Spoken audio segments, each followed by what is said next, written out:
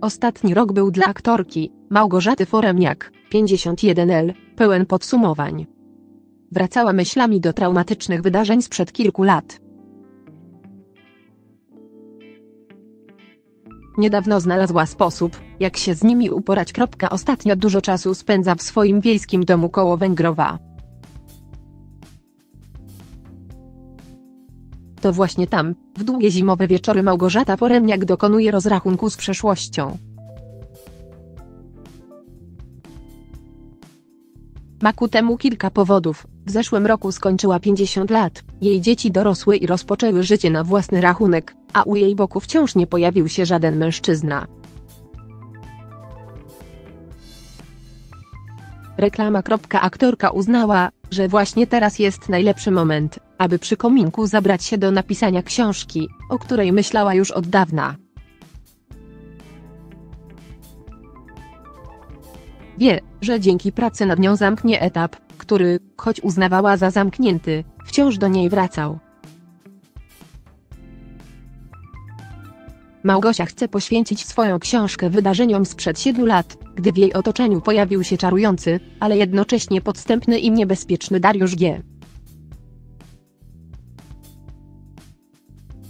Mieszkający we Włoszech biznesmen, powołując się na swoje międzynarodowe kontakty w świecie filmu, początkowo rotaczał przed nią wizję zagranicznej kariery. Z wyrachowaniem wykorzystał także samotność gwiazdy i z czasem stał się jej bardzo bliski.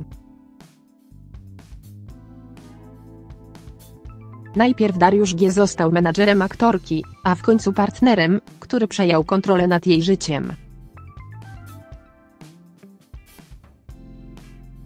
Córka Małgosi, Aleksandra, 26 lat, obserwowała związek mamy z dystansu i jako studentka psychologii szybko zorientowała się, że ten mężczyzna perfidnie manipuluje mamą.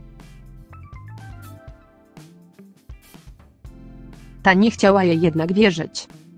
On zrobił wiele, by zepsuć relacje między obiema kobietami.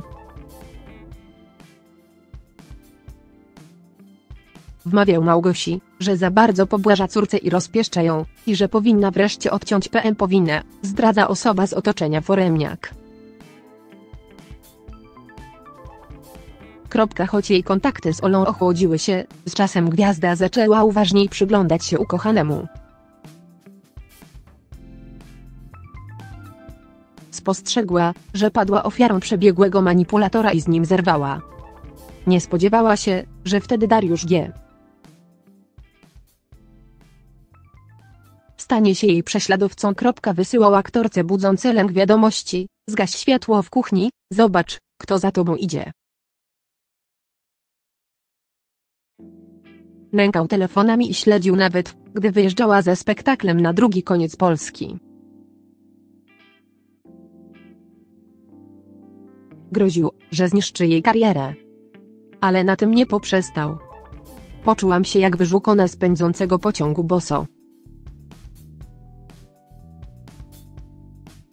Żyjesz i nie zdajesz sobie sprawy, że ktoś rozkłada ci życie na części.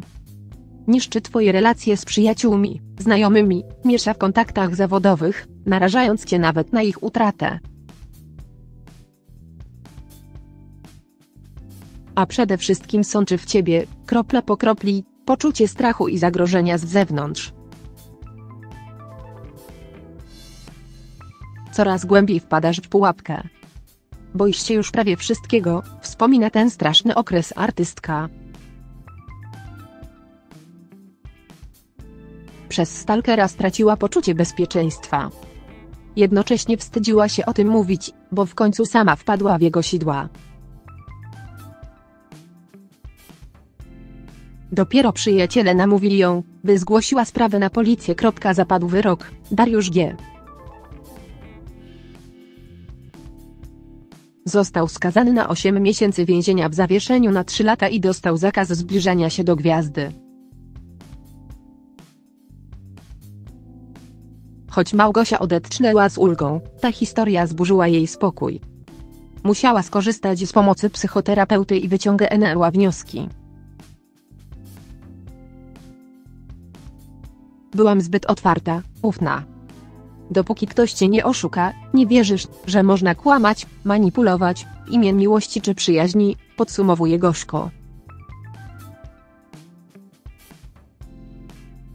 Kropka odkąd sama padła ofiarą stalkera, Małgosia zrozumiała, że opisanie swojej historii, a także procesu wychodzenia z traumy, może pomóc kobietom, które przeżywają to samo. Ola nieustannie jej powtarza, że praca nad książką będzie terapeutyczna. Dopiero wtedy poczuje się naprawdę wolna od koszmaru, który przeżyła, mówi na żywo przyjaciółka aktorki. Foremniak już wie, że jej córka jest doskonałym obserwatorem. Uratowała ją przed prześladowcą, a teraz pomoże jej raz na zawsze zamknąć ten trudny rozdział przeszłości.